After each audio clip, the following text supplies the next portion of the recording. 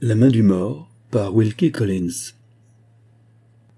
Le siècle actuel, le dix-neuvième siècle, était de maintes années plus jeune qu'il n'est maintenant, lorsqu'un de mes amis, nommé Arthur Holliday, arriva par hasard dans la ville de Doncaster, exactement au milieu de la semaine des courses, ce qui revient à dire en d'autres termes, au milieu du mois de septembre. C'était un de ces jeunes gens à l'humeur turbulente, au cerveau léger, cœur ouvert, lèvres ouvertes, qui possèdent au suprême degré le don des accointances familières, et qui, sans trop de soucis, descendent le fleuve de la vie, se faisant des amis, ainsi qu'on le dit vulgairement, partout où il leur arrive de passer. Son père, manufacturier opulent, avait acheté dans un des comtés du centre assez de domaines pour inspirer de la jalousie à tous les squires des alentours. Arthur, son fils unique, possédait tous les droits d'un héritier présomptif sur les grands biens et la grande industrie à la tête desquels était son père, et en attendant la mort de ce dernier, il courait le monde, les poches bien garnies, sans être l'objet d'aucun contrôle important. Le bruit public, ou la médisance, comme vous voudrez, disait que le vieux gentleman avait mené une jeunesse passablement orageuse, et que, différence là de bien des pères, il n'était pas disposé à se trop indigner en voyant son fils marcher sur ses traces. Peut-être avait-on raison, peut-être tort. Pour moi, je savais seulement que M. Holliday, le père, commençait à se faire vieux, et je n'avais jamais rencontré un gentleman plus posé, plus digne de respect à tous égards. Eh bien donc, ainsi que je vous le disais, par un beau mois de septembre, notre Arthur arrive à Doncaster, ayant pris tout à coup, fort à l'étourdi, selon sa coutume, le parti de venir voir les courses. Il n'entra dans la ville que vers la fin de la soirée, et alla sur le champ s'assurer au principal hôtel si l'on pouvait lui procurer une chambre et un dîner. Quant au dîner, on le mit immédiatement à sa disposition, mais on se mit à rire lorsqu'il demanda un lit. Pendant la semaine des courses, à Doncaster, il arrive souvent que les visiteurs qui n'ont point commodé leurs appartements d'avance couchent dans leur voiture à la porte des auberges. Pour les étrangers de classe inférieure, je les ai vus souvent, en ce temps pléthorique, dormir au seuil des portes faute d'un abri qu'il ait pu recevoir. Tout riche qu'il fût, Arthur n'avait donc, faute d'avoir écrit d'avance, qu'une très pauvre chance de trouver à se loger pour la nuit. Il alla frapper au second hôtel, puis au troisième, et ainsi à deux des auberges de moindre étage, et partout reçut la même réponse. Il ne restait de place pour personne. Pendant la semaine des courses, tous les brillants sovereigns qui doraient ses poches ne lui procuraient pas à Doncaster un lit quelconque. Pour un jeune cadet de l'humeur d'Arthur, il y avait quelque chose de piquant à se voir ainsi repoussé dans la rue comme un vagabond sans sou ni maille. Il continua donc sa tournée, sac de nuit en main, sollicitant un lit à la porte de toutes les maisons ouvertes au public, jusqu'au moment où il se trouva aux limites extrêmes des faubourgs de la ville envahie. Les dernières clartés du crépuscule venaient alors de s'effacer. La lune s'élevait dans un ciel brumeux, l'air devenait froid, des pénuages se massaient lentement. Tout, en un mot, annonçait l'approche de la pluie. L'aspect de cette nuit menaçante atténuait quelque peu les joyeuses dispositions du jeune Holiday. La position où le mettait cette complète absence de logement nocturne commençait à être envisagée par lui à son point de vue le moins divertissant, et il regardait de tous côtés avec une véritable inquiétude, cherchant de l'œil un autre public house où il pût espérer être admis. La portion des faubourgs où ses courses errantes l'avaient peu à peu conduit comptait à peine quelques réverbères et tout ce qu'il pouvait voir des maisons devant lesquelles il passait, c'est qu'elles étaient de plus en plus petites, de plus en plus sales. Au bout de la rue tortueuse qui s'étendait devant lui, les fuligineuses clartés d'une misérable lanterne à l'huile luttaient, sans les dissiper, avec les ténèbres dont il était entouré. Il résolut d'aller jusqu'à cette lanterne, et ensuite, si elle ne lui montrait rien qui ressemblât à une auberge, de revenir au centre de la cité pour voir s'il lui serait impossible de se pourvoir tout au moins d'un fauteuil pour la nuit dans quelque recoin d'une des hôtelleries de premier ordre. En se rapprochant du réverbère, il entendit un bruit de voix, et lorsqu'il fut arrivé immédiatement au-dessous, il constata que cette lanterne éclairait l'entrée d'une cour étroite. Sur le mur était peinte une longue main couleur de chair, passablement ternie par parenthèse, laquelle, de son maigre index, conduisait le regard vers cette inscription Les deux rouges-gorges. Arthur, sans la moindre hésitation, franchit le seuil de la cour afin de voir ce que les deux rouges-gorges pourraient faire en son honneur. Quatre ou cinq hommes étaient groupés debout autour de la porte de la maison, qui était au fond de la cour, faisant face à la principale entrée. Ces hommes prêtaient l'oreille à un autre individu, mieux vêtu que le reste, et dont les paroles, prononcées à voix basse, paraissaient avoir pour son auditeur quelque puissant intérêt. Au moment où il entrait dans le passage, Arthur rencontra un inconnu qui, tenant à la main son sac de voyage, quittait évidemment la maison. Non, disait ce voyageur que son sac indiquait être un modeste piéton, et qui, par-dessus l'épaule, répondait gaiement à un gros homme chauve, à physionomie rusée, porteur d'un tablier blanc maculé çà et là, lequel l'avait accompagné jusqu'en cet endroit. Non, monsieur l'hôte, je ne m'effarouche pas pour des bagatelles, mais j'avoue, sans la moindre honte, que je ne saurais me faire à ceci. L'idée vint au jeune Holiday, lorsque ces mots furent prononcés, qu'on avait demandé à l'étranger en échange d'un lit fourni par les rouges-gorges quelque prix exorbitant, et qu'il ne pouvait ou ne voulait souscrire à cette exigence. Dès qu'il eut tourné le dos, Arthur, que rassurait l'état florissant de sa bourse, mais craignant d'être devancé par quelque autre voyageur annuité comme lui, s'empresse de se présenter à cet hôte rusé, dont le tablier sale et la tête chauve l'eussent rebuté en toute autre circonstance. Si vous avez un lit à louer, disait-il, et si ce monsieur qui vient de sortir ne s'est pas soucié d'en donner le prix que vous désiriez, me voici, moi tout disposé à le prendre. L'hôte jeta sur Arthur un regard futé. Est-ce bien certain, monsieur? demanda-t-il, sur le ton de la réflexion et du doute. Fixez votre prix, dit le jeune Holiday, s'imaginant que l'hésitation de l'hôtelier tenait à quelque sotte méfiance de sa capacité pécuniaire. Fixez votre prix, et si cela vous convient, je paierai d'avance. Irez-vous bien jusqu'à cinq shillings demanda l'homme en frottant son double menton mal rasé, tandis qu'il regardait d'un air pensif le plafond au-dessus de sa tête. Arthur faillit éclater de rire au nez de ce drôle, mais jugeant plus prudent de se contraindre, lui offrit, du plus grand sérieux, les cinq shillings demandés. L'hôte au regard usé tendit la main, puis, la retirant tout à coup. Vous allez rondement en affaire, dit-il, et puisque vous êtes si franc avec moi, J'agirai de même à votre égard avant d'empocher votre monnaie. Prenez bien garde à ce que je vais vous dire. Je puis vous donner un lit entier pour cinq shillings, mais vous n'aurez à vous que la moitié de la chambre où est ce lit. Comprenez-vous bien ce que je veux dire, mon jeune gentleman? Sans doute, reprit Arthur avec une certaine impatience. Vous voulez dire qu'il s'agit d'une chambre à deux lits et qu'un des lits est occupé déjà? L'autre secoua la tête et se remit à frotter plus fort que jamais son double menton. Arthur hésitait et machinalement recula d'un pas ou deux vers la porte. L'idée de coucher dans la même chambre qu'un personnage à lui tout à fait inconnu ne lui offrait qu'une perspective peu attrayante. Il se sentait une forte inclination à laisser retomber ses cinq shillings au fond de sa poche, dût-il recommencer son pèlerinage à travers rue? Est-ce Est-ce non? demanda l'hôte. Prenez vivement votre parti, car sans vous compter, nous avons bien des gens à Doncaster auxquels un lit fera grand faute pour la nuit qui vient. Arthur regardait du côté de la cour et entendait la pluie tomber lourdement dans la rue à quelques pas de lui.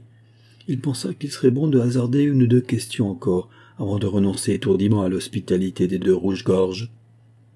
Quelle espèce d'individu trouverai-je dans l'autre lit? demanda-t-il. Est-ce un gentleman Est-ce, veux-je dire, un individu tranquille et disposé à se conduire convenablement? L'homme le plus tranquille que j'ai jamais connu, répondit l'hôte, qui frottait l'une sur l'autre furtivement ses mains reluisantes d'embonpoint. Tranquille comme un juge, régulier comme une horloge dans toutes ses habitudes. Neuf heures ne sont pas sonnées, il s'en faut encore de dix minutes, et le voilà déjà dans son lit. Je ne sais pas si c'est là ce que vous entendez par un homme tranquille. Pour mon compte, j'en ai vu de plus turbulents, à qui j'aurais accordé les honneurs de cette épithète. Le croyez-vous endormi? demanda notre Arthur. Je sais qu'il dort, répondit l'autre, et bien mieux, il a si vite fermé l'œil que vous ne l'éveillerez pas, je vous en réponds. C'est ici, monsieur, continua le femme à qui par-dessus l'épaule du jeune Holiday sembla s'adresser à quelques nouveaux venus se dirigeant du côté de la maison. Un instant, dit Arthur, bien décidé à prendre les devants sur cet étranger quel qu'il peut être. J'arrête le lit. Et il remit les cinq shillings à l'hôtelier, qui les acceptant avec un signe de tête, glissa négligemment cette monnaie dans la poche de son gilet et s'empressa d'allumer un flambeau. Venez en haut voir la chambre, dit l'hôte des deux rouges-gorges, guidant sur le vers l'escalier d'un pas remarquablement leste, vu l'embonpoint dont il était chargé. Ils montèrent au second étage de la maison. L'aubergiste entr'ouvrit une porte qui faisait face au palier, puis s'arrêta sur le seuil et se tournant vers Arthur. Faites bien attention, lui dit-il, que de votre part et de la mienne, c'est un marché franc. Vous me donnez cinq shillings, je vous donne en échange un lit propre et confortable. Je vous garantis d'avance, par-dessus le marché, que vous ne serez dérangé ou tourmenté en aucune façon par l'homme qui couche dans la même chambre que vous. À ces mots, il dévisagea un moment d'un regard assez fixe son jeune locataire, et l'introduisit ensuite dans la pièce entr'ouverte. Elle était plus grande et plus propre qu'Arthur n'avait compté la trouver. Les deux lits étaient parallèles l'un à l'autre et séparés par un espace d'environ six pieds.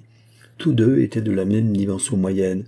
Tous deux avaient les mêmes rideaux blancs unis dont on pouvait au besoin les entourer de toutes parts. Le lit occupé se trouvait le plus proche de la fenêtre. Ses rideaux étaient tirés tout autour, sauf celui du fond, à l'extrémité du lit la plus éloignée de la croisée. Arthur vit sous les draps, un peu mince, les pieds de l'homme endormi marquaient un relief assez prononcé, comme s'il eût été couché sur le dos. Il prit le flambeau, s'approcha pour tirer le rideau encore ouvert, écouta un moment arrêté à mi-chemin, et se tournant ensuite du côté de l'hôte. Voilà un dormeur bien tranquille. Oh oui, dit l'hôte, tranquille comme on ne l'est guère. Le jeune Holiday s'avança flambeau en main et regarda l'homme avec précaution. Comme il est pâle, dit-il. Assez pâle comme cela, répondit l'hôte. Vous trouvez, n'est-il pas vrai? Arthur regarda l'homme de plus près. Les draps du lit remontaient jusqu'à son menton, et leur immobilité sur la région du torse était absolue.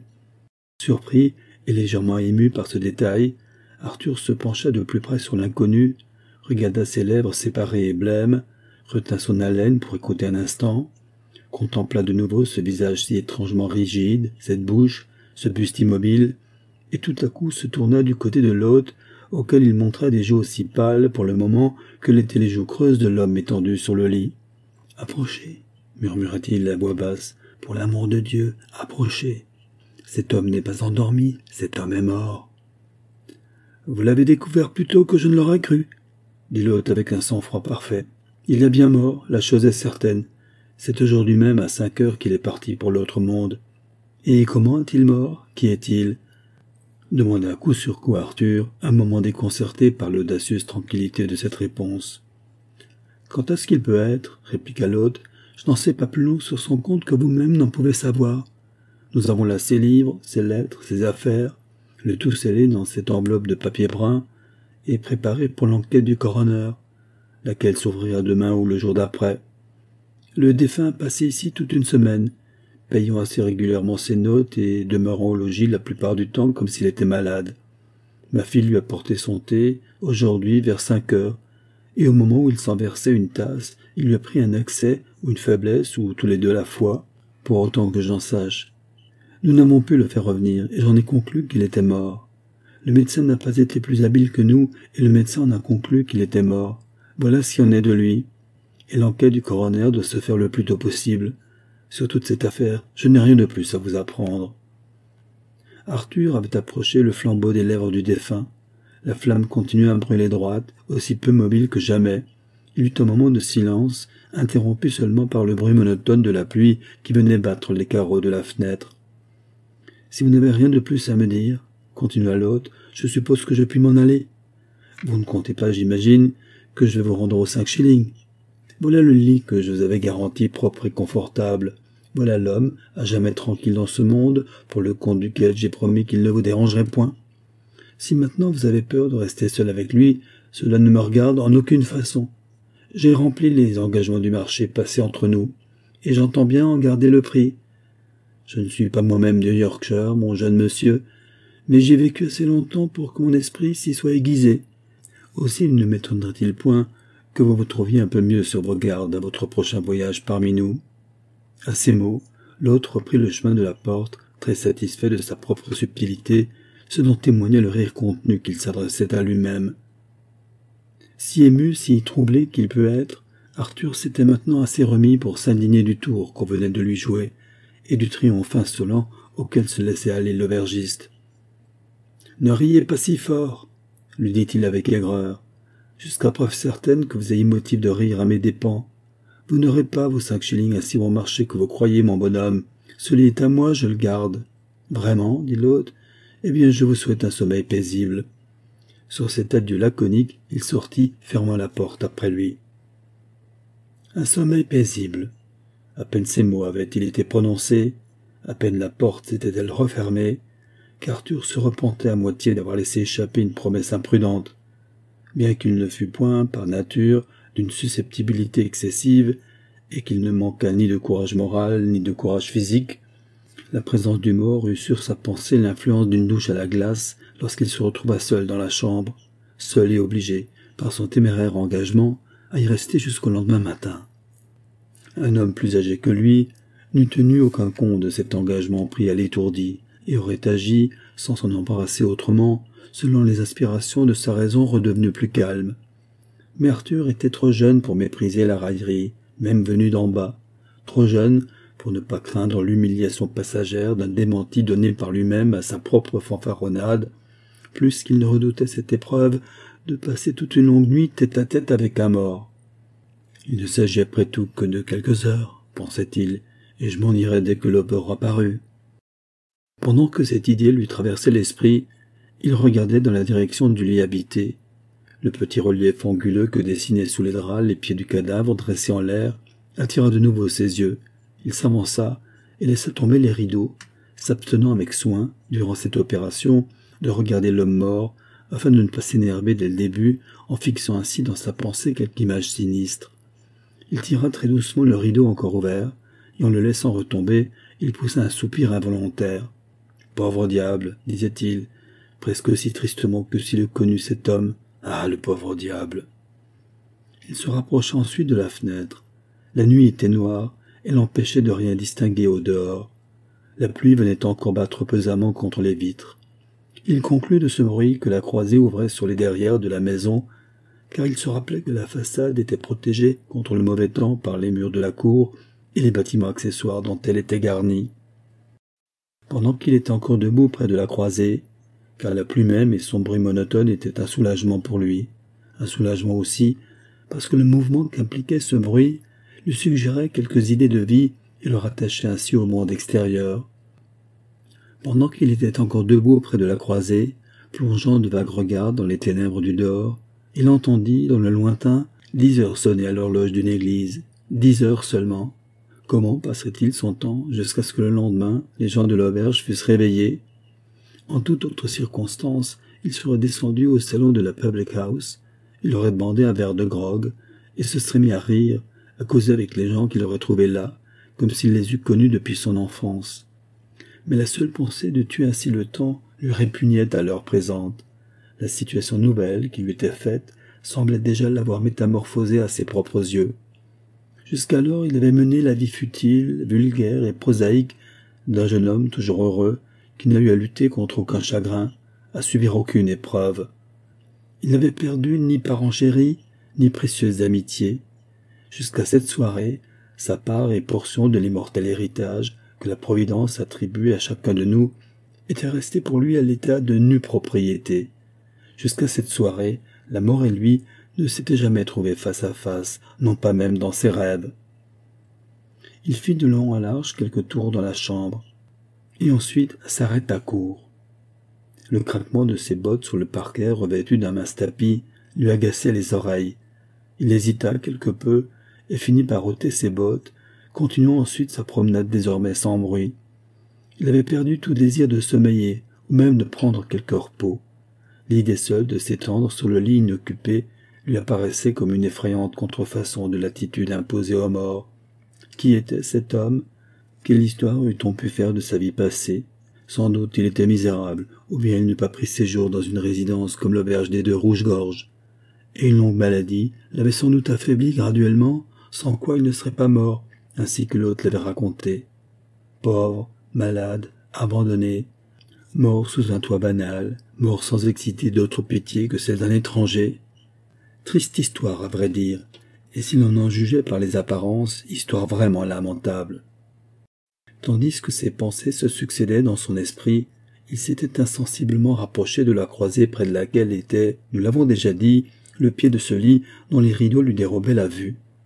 D'abord il le contempla d'un air distrait, puis il eut conscience que ses yeux étaient arrêtés de ce côté, et alors s'empara de lui un désir pervers de faire ce dont il s'était promis de s'abstenir, c'est-à-dire de regarder le mort. Il étendit la main vers le rideau, mais se retenant au moment même de les ouvrir, il tourna vivement le dos au lit et s'en alla du côté de la cheminée pour examiner un à un les objets dont elle était couverte, et voir s'il ne parviendrait pas à se débarrasser ainsi de l'espèce d'obsession à laquelle il était en but. Il y avait sur la cheminée un encrier d'étain qui gardait encore au fond du flacon quelques restes d'une encre moisie. Il y avait aussi deux vases de porcelaine de l'espèce la plus vulgaire, une feuille de carton gaufré, jaune et piquée des mouches, sur lequel s'étalait en toutes sortes de directions et imprimé en encre de toutes couleurs une collection de misérables énigmes. Il prit cette carte, et se rapprochant pour la lire de la table où était placé le flambeau, il s'y assit, le dos résolument tourné du côté du lit que les rideaux lui masquaient encore.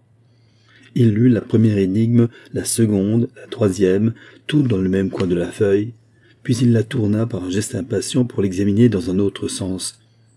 Avant qu'il n'eût commencé la lecture des énigmes imprimées de ce côté, la voix lointaine de l'horloge détourna son attention. Onze heures. Il avait déjà passé une heure dans cette chambre, tête à tête avec le mort. Il regarda de nouveau la carte étalée devant lui. Il n'était pas très facile de déchiffrer les caractères imprimés qu'elle renfermait, à cause du peu de clarté que jetait le flambeau laissé par l'hôte, un misérable chandelier garni de suif qu'accompagnait une paire de mouchettes d'acier de modèle antique et lourde à la main. Jusqu'à ce moment, Arthur avait été trop préoccupé pour penser à cette lumière. Il avait laissé la mèche de la chandelle monter peu à peu au-dessus de la flamme, et maintenant elle brûlait, dessinant à son sommet une espèce de toit, d'où tombaient de temps en temps, par petits flocons, des débris de coton charbonné. Il prit alors les mouchettes et raccourcit proprement la mèche. La lumière augmenta tout aussitôt, et la pièce prit un aspect moins funèbre.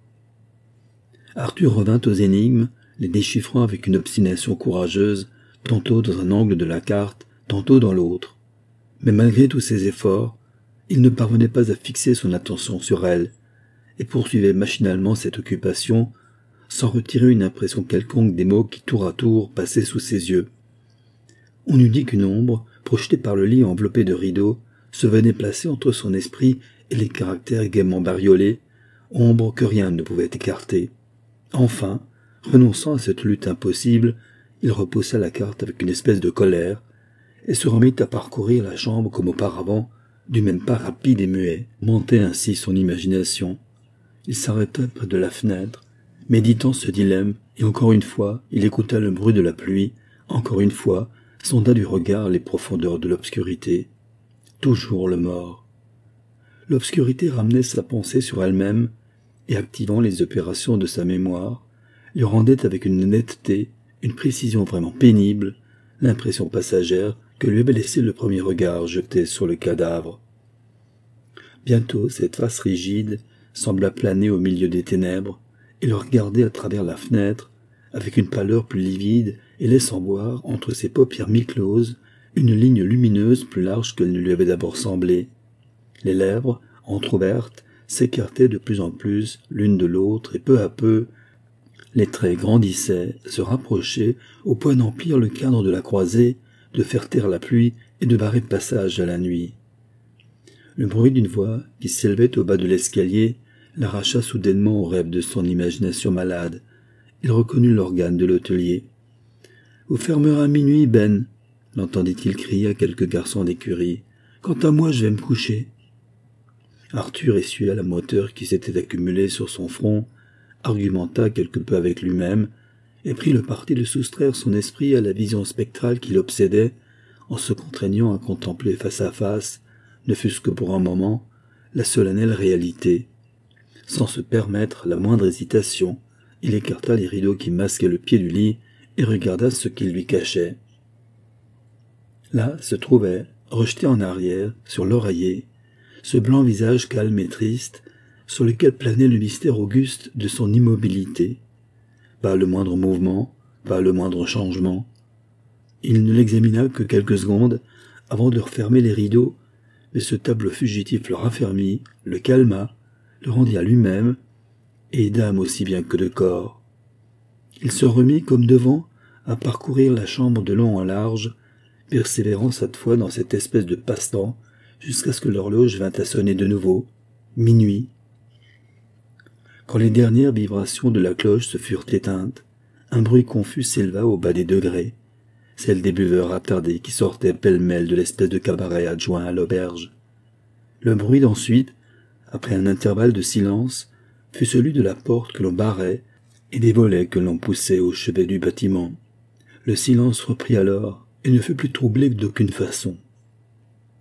Arthur était donc seulement maintenant, définitivement et absolument seul avec le mort jusqu'à la matinée suivante. La mèche de la chandelle avait encore besoin d'être arrangée. Il prit les mouchettes, mais il s'arrêta soudain au moment de s'en servir, jetant un regard attentif sur le flambeau, puis, par-dessus son épaule, du côté du lit mystérieux, puis de réchef, sur la lumière placée devant lui. La chandelle était entière quand l'hôte l'avait allumée pour le conduire à l'étage supérieur, et les trois quarts, pour le moins, se trouvaient déjà consumés. Une heure de plus devait l'avoir finir. Dans une heure, à moins qu'il n'éveillât, pour se faire apporter une bougie neuve, l'homme qui avait fermé les portes de l'auberge, il se trouverait dans l'obscurité. Si fortes qu'eussent été ses émotions depuis qu'il avait mis le pied dans cette chambre, la crainte déraisonnable qui l'empêchait de braver le ridicule et sa répugnance à laisser suspecter son courage n'avaient pas encore, même alors, perdu toute leur influence sur lui.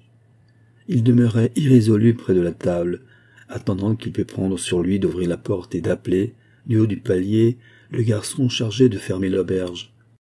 Au milieu de ses hésitations actuelles, c'était pour lui une espèce de soulagement que de gagner quelques minutes, ne fût-ce qu'en occupant à moucher la chandelle. Sa main tremblait quelque peu, et les lourdes mouchettes n'étaient point d'un usage très commode. Quand il les referma sur la mèche, il se trompa de l'épaisseur d'un cheveu. À l'instant même, la chandelle s'éteignit et la pièce fut plongée dans la plus épaisse obscurité. L'unique impression que produisit immédiatement sur son esprit la disparition de toute lumière fut la crainte du lit mystérieux, crainte qui ne prit aucune forme distincte, mais qui, par son vague même, se trouva investi d'assez de puissance pour le clouer sur son fauteuil, faire battre son corps plus vite et le forcer à dresser l'oreille.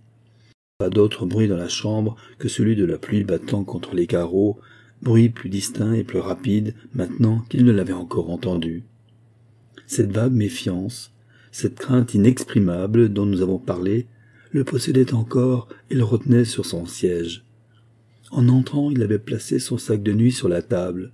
Il tira la clé de sa poche, étendit doucement la main, ouvrit le sac, et chercha, tâtonnant, son écritoire de voyage, dans laquelle il savait devoir trouver une petite provision d'allumettes. Quand il tint l'une d'elles, il attendit avant de la frotter sur le bois grossier de la table, et, sans savoir pourquoi, se reprit à écouter attentivement. Il ne se faisait pourtant encore dans la chambre aucune espèce de bruit, à part celui de la pluie qui continuait monotone et constant comme naguère.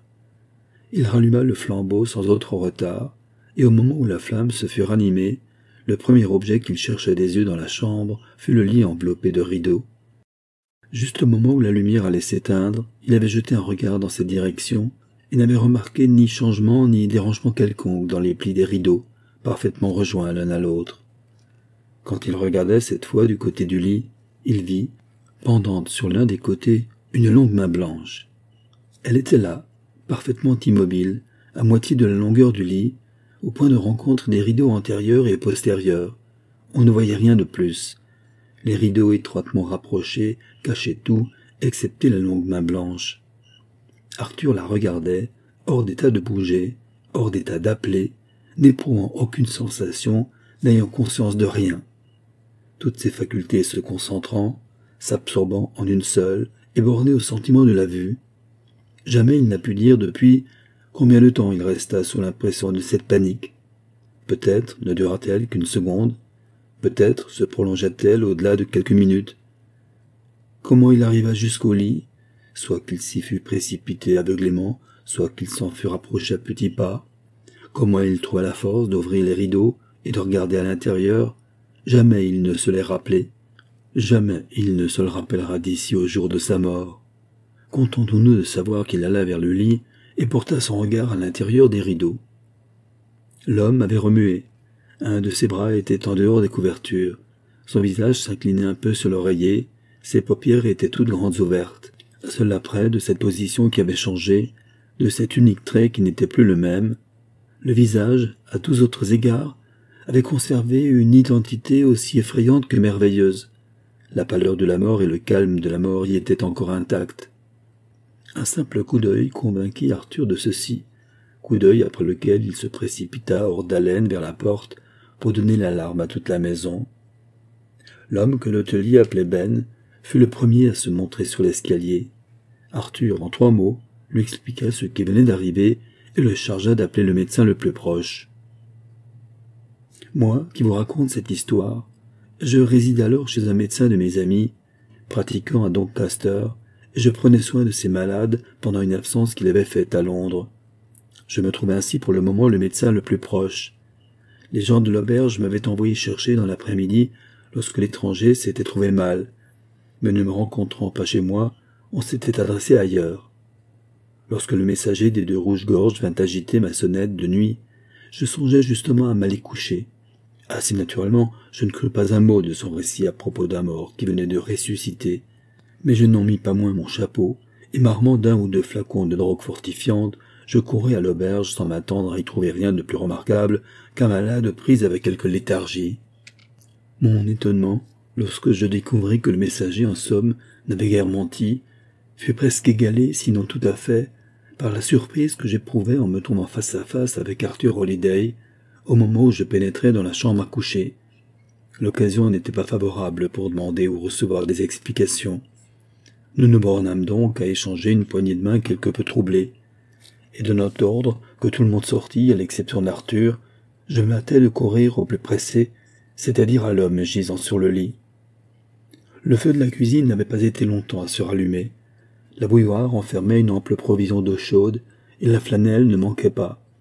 Moyennant ces ressources, les médecines que j'avais apportées et les secours que put donner Arthur en se conformant à mes avis, j'arrachai littéralement cet homme des bras de la mort. Moins d'une heure après le moment où j'avais été appelé, il se retrouva vivant et parlant sur ce même lit où on ne l'avait étendu que pour y attendre l'enquête du coroner.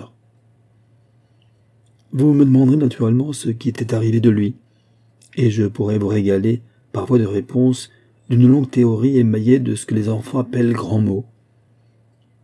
Je préfère vous dire que dans ce cas particulier, les effets et les causes ne pouvaient être liés les uns aux autres par aucune théorie quelconque. Il y a dans la vie et dans les conditions qui lui sont faites des mystères que la science humaine n'a pas encore approfondis, et je vous avouerai naïvement qu'en rappelant cet homme à l'existence, j'errais à tâtons, moralement parlant, cherchant une chance parmi les ténèbres. Je sais, par le témoignage du médecin qui l'avait soigné dans l'après-midi, je sais, dis-je, que l'organisme vital, en tant que son action est appréciable à nos sens, avait été sans aucun doute immobilisé pour un temps, et je suis également certain puisque je parvins à ranimer cet homme, que le principe vital n'était pas éteint. Si j'ajoute qu'il avait passé par une maladie longue et compliquée, laquelle avait absolument bouleversé son système nerveux, je vous ai dit tout ce que je sais réellement de l'état physique, où j'avais trouvé cette espèce de mort-vivant que l'auberge des deux rouges-gorges m'avait fourni l'occasion de soigner. Quand il revint, comme on dit, j'ai rarement vu de spectacle plus frappant que celui de cet homme avec son visage décoloré ses joues creuses, ses yeux noirs égarés, ses longs cheveux noirs. La première question qu'il m'adressa sur son propre compte, aussitôt qu'il put parler, me fit soupçonner que j'avais été appelé auprès d'un confrère. Je lui fis part de cette conjecture, et il me répondit que j'avais raison. Il disait être venu en dernier lieu de Paris, où il avait été attaché au service d'un hôpital. Rentré en Angleterre pour se rendre à Édimbourg, où il voulait continuer ses études, il était tombé malade en route et s'était arrêté à Doncaster pour se reposer et se rétablir.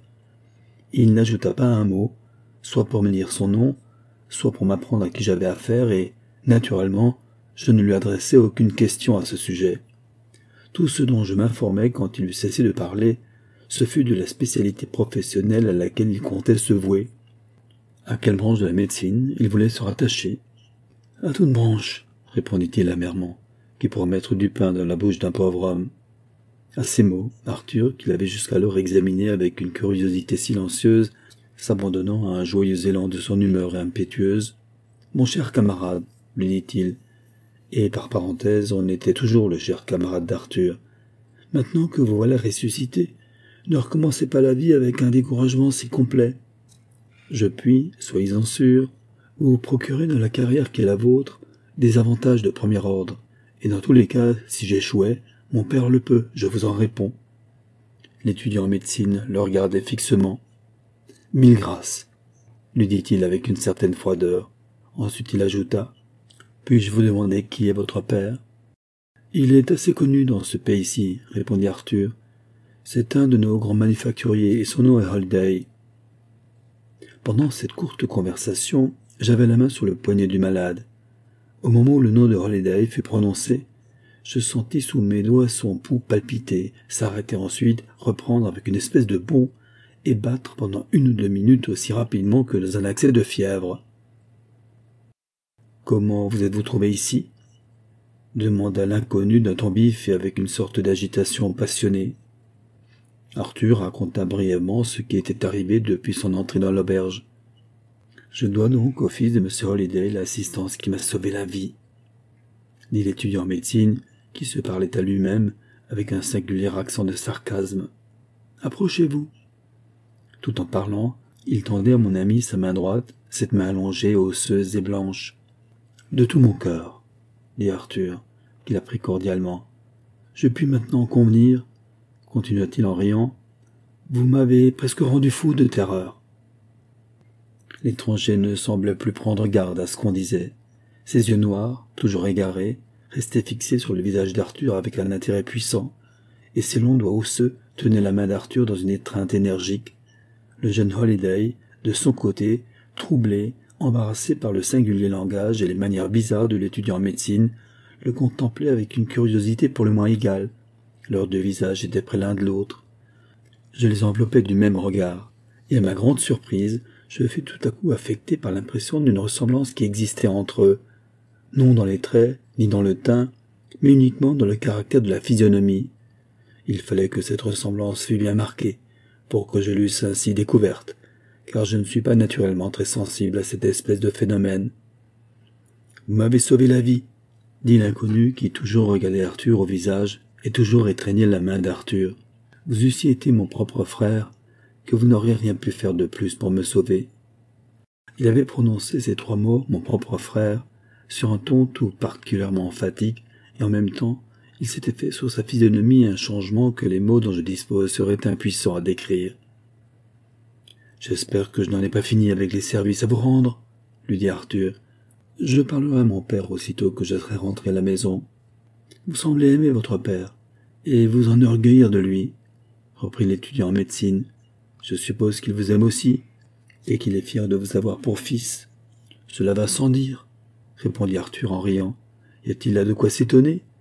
Est-ce que votre père, à vous, ne serait pas... L'inconnu laissa tout à coup tomber la main du jeune Holiday et détourna de lui son visage. Mille excuses, reprit Arthur. J'espère bien ne vous avoir pas affligé sans le vouloir. Peut-être avez-vous perdu votre père? Comment perdre ce qu'on n'a jamais eu? répliqua l'étudiant en médecine avec un rire sardonique et dur. Ce qu'on n'a jamais eu. L'inconnu reprit brusquement la main d'Arthur et recommença tout à coup à le regarder au visage. Oui, disait-il, réitérant son rire amer. Vous avez ramené dans ce monde un pauvre diable qui n'y a que faire. Vous étonnerais-je par hasard? Eh bien, il me prend envie de vous révéler tout simplement ce que gardent en général pour eux les hommes placés dans ma situation. Je n'ai ni nom ni père. Les lois clémentes que la société a faites me déclarent l'enfant de personne. Demandez à votre père si par hasard il voudrait être aussi le mien, et me fournir ce qui me manque, un nom de famille, Arthur me regardait plus intrigué que jamais. Je lui fis signe de ne rien répondre et posai de nouveau ma main sur le poignet du malade. Mais non. Malgré ce langage extraordinaire qu'il venait de tenir, il n'était pas ainsi que je l'avais soupçonné sur le chemin du délire. Son pouls en ce moment avait repris ses allures calmes et lentes. Sa peau était fraîche et moite, pas le moindre symptôme d'agitation ou de fièvre. Voyant que nous ne lui répondions ni l'un ni l'autre, il se tourna vers moi, m'entretenant de ce qu'il y avait d'extraordinaire dans cette défaillance cataleptique, et sollicitant mes conseils sur le traitement médical auquel il devrait se soumettre pour l'avenir. Je lui dis qu'une ordonnance pareille demandait réflexion, ajoutant que je la lui enverrais un peu plus tard. Il me pria au contraire de la rédiger immédiatement, parce que selon toute probabilité, il quitterait donc Caster dès le lendemain matin, avant l'heure de mon lever. Il fut tout à fait inutile de lui remontrer la déraison et le danger d'une résolution pareille.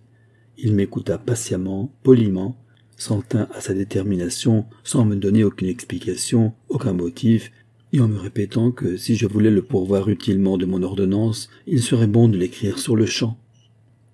Arthur, l'entendant ainsi parler, offrit de mettre à notre service une petite écriture de voyage, qui, disait-il, ne le quittait jamais, et la portant sur le lit, il la secoua par un de ces gestes insouciants qui lui étaient familiers, pour faire tomber le papier à lettres de la petite poche qui le renfermait. Avec le papier tombèrent sur le couvre-pied du lit un petit paquet de colle à bouche et une aquarelle de menue dimension, représentant un paysage. L'étudiant en médecine prit le dessin et le regarda. Ses yeux tombèrent sur certaines initiales formant chiffres et placées à l'un des coins du dessin. Il frissonna, pris d'un tremblement subit. Son pâle visage devint plus blême que jamais. Ses yeux noirs et hagards se tournèrent du côté d'Arthur, qu'il semblait vouloir percer de part en part. Charmant dessin, dit-il d'une voix remarquablement contenue. Certes, et l'ouvrage d'une charmante fille, répondit Arthur. Oh, la belle enfant. J'aimerais bien mieux que ce ne fût pas un paysage. J'aimerais bien mieux que ce fût son portrait. Vous semblez avoir beaucoup de goût pour elle. Moitié riant, moitié sérieux, Arthur, pour toute réponse, envoya du bout des doigts un baiser à la belle absente. Un amour subi, un coup de sympathie, dit le jeune Holiday, qui reprit l'aquarelle pour la remettre en place. Mais les traverses ne nous sont pas épargnées. C'est la vieille histoire, comme toujours. Elle n'est plus libre, cela va sans dire. Elle est sous le coup d'un engagement téméraire. Priant vers un pauvre garçon qui jamais ne réalisera la fortune indispensable pour se marier. Il est heureux que tout ceci m'ait révélé à temps. Sans cela, quand elle m'a donné ce dessin, j'aurais risqué ma déclaration. Allons, docteur, voici la plume, l'encre et le papier qui vous attendent quand elle vous donna le dessin Donna, n'est-il pas vrai? C'est Donna que vous avez dit? Il se répéta lentement à lui-même, et plusieurs fois, le mot qui semblait l'avoir choqué. Puis soudainement, il ferma les yeux. Une crispation momentanée contracta son visage. Je vis une de ses mains, saisissant les draps du lit, les froisser avec une espèce de fureur. Je crus qu'il allait retomber malade, et j'insistais pour mettre un terme à la conversation. Pendant que je parlais, il rouvrit les yeux, les fixa de nouveau avec plus de curiosité que jamais sur le visage d'Arthur, et lentement, distinctement, prononça ces paroles. Vous l'aimez, elle vous aime. Le pauvre homme qui vous fait obstacle peut fort bien s'en aller dans un autre monde. Et alors, pourquoi ne se donnera-t-elle pas à vous, comme elle vous a donné son dessein? Avant que le jeune Holiday eût pu répondre, le malade, se tournant de mon côté, me dit tout bas. Passons maintenant à votre ordonnance et à partir de ce moment, bien qu'il n'évitât pas de causer avec Arthur, il ne leva plus les yeux sur lui. Quand l'ordonnance fut rédigée, il l'examina soigneusement, l'approuva dans toutes ses prescriptions, et nous surprit ensuite tous les deux en nous congédiant assez brusquement. J'offris de veiller auprès de lui, mais il secoua la tête en signe de refus. Arthur lui fit la même proposition, et détournant la tête, il lui répondit par un non des plus laconiques. J'insistais pour qu'il se fît veiller par quelqu'un. Lorsqu'il me vit bien décidé à ne pas souffrir qu'il restât seul, il accepta les services du garçon d'auberge. Je vous remercie tous les deux, dit-il, au moment où nous nous levions pour nous en aller. J'ai une dernière faveur à vous demander. Non pas à vous, docteur, car je me fie entièrement à votre discrétion professionnelle, mais à M. Holiday, que voici.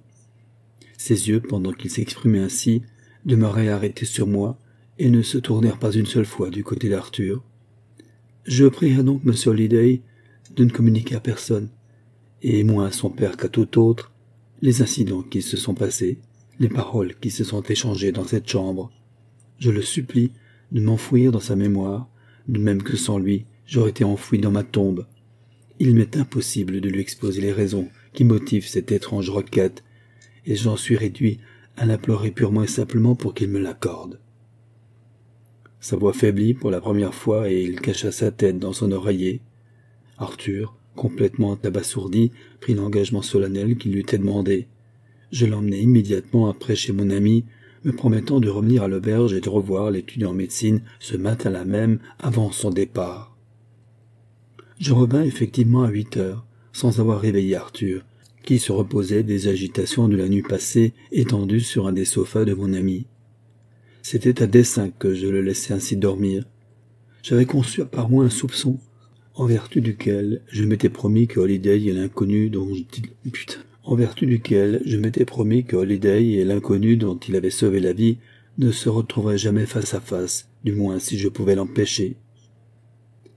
J'ai déjà fait allusion à certains bruits, à certaines médisances au courant desquelles j'étais et qui se rapportaient à la jeunesse du père d'Arthur, en songeant, une fois couché, à ce qui s'était passé dans l'auberge, au mouvement du pouls de l'étudiant dès qu'il avait entendu le nom de Holiday, à la ressemblance de physionomie qu'offrait son visage et celui d'Arthur, à la manière emphatique dont il avait prononcé ces trois mots, mon propre frère, et enfin, à l'incompréhensible aveu qu'il nous avait fait de sa naissance illégitime, pendant que je réfléchissais à toutes ces choses, les bruits dont j'ai parlé se représentèrent soudain à mon esprit et vinrent se rattacher solidement à la chaîne de mes réflexions antérieures.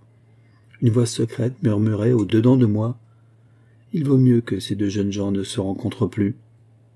Au moment où j'allais m'endormir, cette idée m'était venue, elle persistait à mon réveil, et ce fut pour cela que je me rendis seul à l'auberge, ainsi que je vous l'ai dit, dans le cours de cette matinée. Je manquais cependant l'unique occasion qui me resta de revoir mon malade anonyme. Il était parti depuis plus d'une heure lorsque je m'informai de lui. Je vous ai maintenant raconté tout ce que je sais, de science certaine, relativement à l'homme que je ramenai à la vie dans cette chambre à deux lits de l'auberge de Doncaster. Ce que j'ajouterai désormais est affaire de conjecture, de déduction plus ou moins logique, et à strictement parler n'offre rien de positivement établi. Vous saurez d'abord que les pressentiments de l'étudiant en médecine, relativement au mariage probable d'Arthur Holliday avec la jeune personne qui lui avait fait présent d'un paysage à l'aquarelle, se réalisèrent de la manière la plus merveilleuse. Ce mariage eut lieu plus d'un an après les événements que j'ai déjà eu à vous raconter. Le jeune couple vint s'établir dans les environs de la petite ville, où je pratiquais alors. J'assistai aux noces et m'aperçus, non sans quelque surprise, que soit avant, soit après le mariage, Arthur gardait vis-à-vis de moi, au sujet de l'engagement antérieur de la jeune personne, une réserve singulière. Il n'y fit allusion qu'une fois, en tête à tête, se bornant à me dire que sa femme avait fait à cette occasion tout ce que l'honneur et le devoir exigeaient d'elle, et que ses parents avaient donné leur pleine approbation à la rupture de l'engagement contracté. C'est tout ce qu'il ne m'en dit jamais. Pendant laps de trois années, le jeune ménage vécut heureux. Au bout de ce temps, Mrs. Arthur Holiday éprouva les premiers symptômes d'une grave indisposition qui dégénéra peu à peu en une maladie de langueur et aboutit en somme à un état désespéré. Je lui donnai mes soins dès le début et jusqu'au dénouement. Nous avions été fort bons amis quand elle se portait bien et notre attachement mutuel ne fit que s'accroître pendant cette longue et cruelle maladie.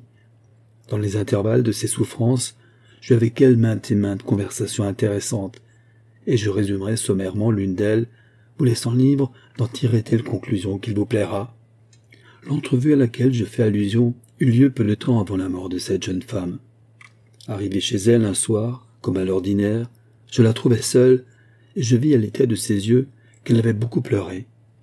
Tout d'abord, elle se contenta de me dire que cela tenait à un grand abattement d'esprit, mais peu à peu, elle devint plus communicative et m'avoua qu'elle avait passé en revue certaines lettres de vieille date qui lui avaient été adressées avant qu'elle connût Arthur par un homme à qui elle avait promis sa main. Je lui demandai comment l'engagement s'était rompu. Elle me répondit qu'aucune rupture positive n'avait eu lieu, mais que cet engagement s'était dénoué d'une façon mystérieuse. L'homme à qui elle était promise, et qui avait été, disait-elle, son premier amour, ne possédaient aucune fortune et leur mariage se trouvait naturellement ajourné, par là même, à une date indéterminée. Ils suivaient la même profession que moi et faisaient ses études à l'étranger.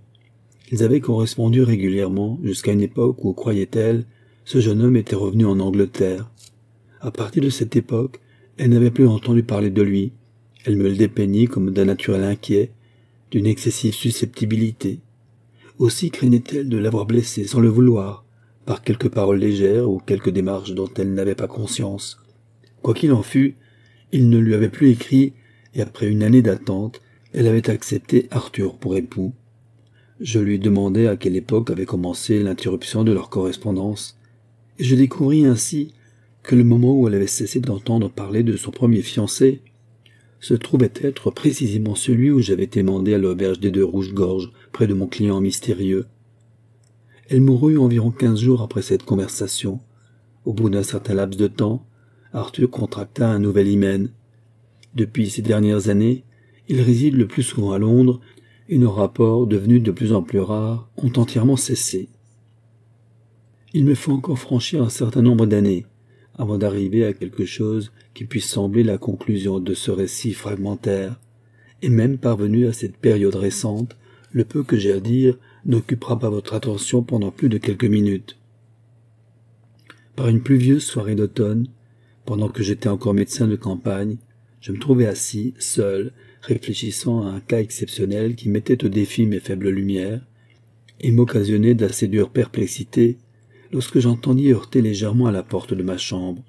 Entrez, m'écriai-je, levant les yeux avec curiosité et me demandant qui venait réclamer mon assistance.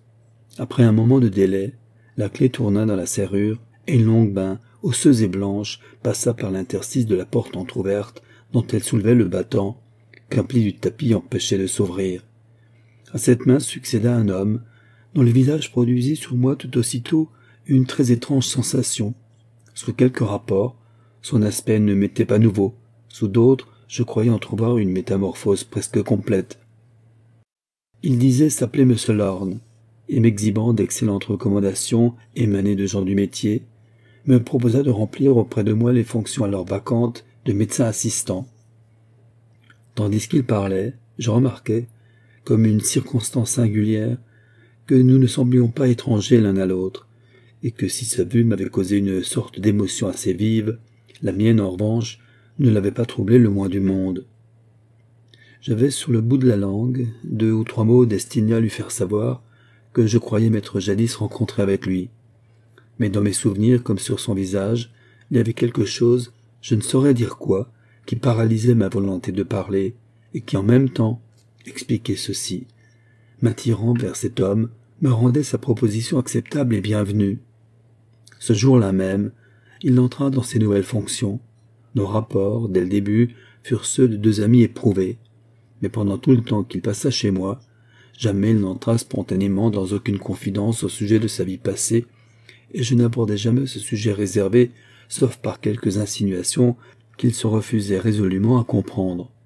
Je m'étais dit depuis longtemps que mon malade des deux rouges-gorges pouvait bien être un enfant naturel de M. Holiday le père, et en même temps le malheureux fiancé de la jeune fille qu'Arthur avait épousée en dernier ressort.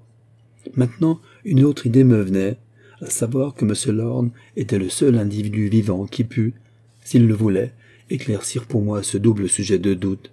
Mais il ne le voulut jamais, et ces doutes restèrent ce qu'ils étaient. Il demeura près de moi jusqu'à l'époque où, pour la seconde fois, j'allais, comme médecin, tenter fortune à Londres. Et alors, il suivit son chemin comme moi le mien, sans que jamais, depuis, nous ayons eu l'occasion de nous revoir. Je ne saurais que dire de plus. Peut-être mon soupçon était-il fondé, peut-être non. Ce qui est certain, c'est que dans ces temps de médecine rurale, toutes les fois que rentrant un peu tard, j'avais à réveiller mon assistant endormi, je le trouvais, au moment où il revenait à lui, une ressemblance merveilleuse avec l'inconnu de Doncaster tel que je le vis au sortir de sa léthargie profonde pendant cette nuit que je n'oublierai jamais. Ainsi s'achève La main du mort par Wilkie Collins.